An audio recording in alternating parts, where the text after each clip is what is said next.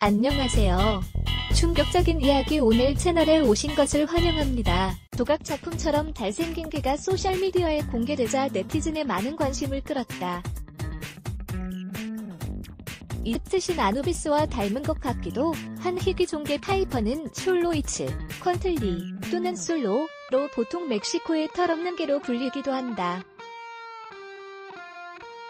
파이퍼 주인은 필리핀 쾌손에 사는 의대생 산다라 피네다 22이다.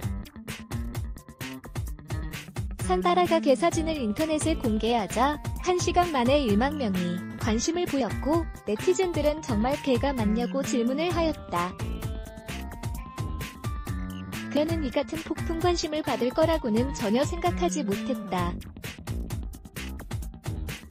산드라는 희귀종 개예요. 조각상이 아니랍니다라는 글을 남겼다.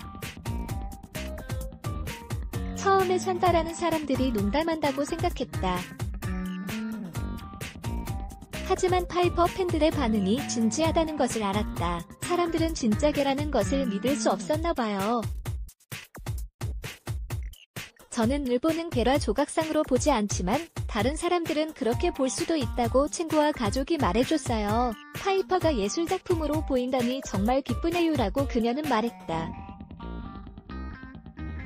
몇몇 사람들은 파이퍼가 지하세계의 문을 지키는 이집트신 아누비스와 닮았다고 했다. 하지만 네티즌 중 만화 영화 코코에 나오는 귀여운 주인공 단테의 실제 버전을 생생하게 보고 있다는 것을 아는 사람은 거의 없다. 숄로이츠퀸틀리는 3500년 전 아즈텍과 마야까지 거슬러 올라가는 오래된 품종이다. 멕시코에서는 이 품종이 흔하지만 그 외의 지역에서는 보기 드물다.